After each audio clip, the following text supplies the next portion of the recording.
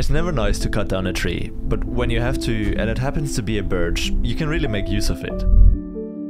In the past year, I've been semi-successful with harvesting birch sap in season, but having access to a fresh tree stump is a whole nother level.